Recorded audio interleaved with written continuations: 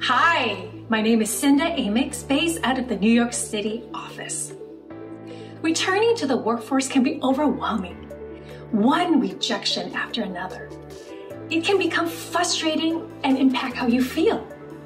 Well, I'm here to tell you you are worthy, valuable, and needed. You have incredible life experience and skills.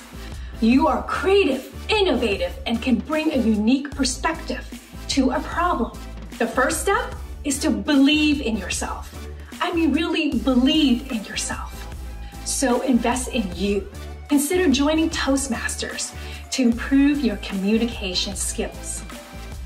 You can do this.